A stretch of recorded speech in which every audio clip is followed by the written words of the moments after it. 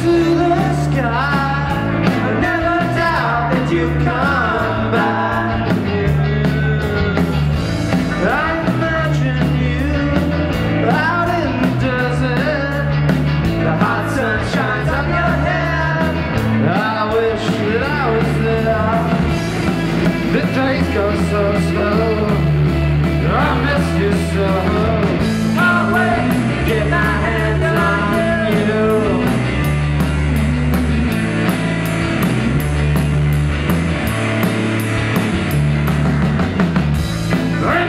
come?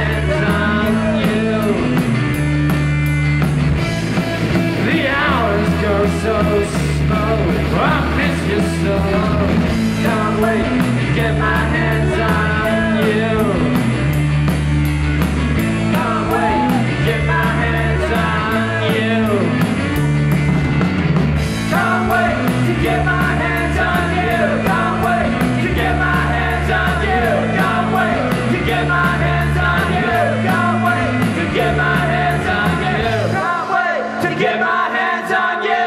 Can't wait to get my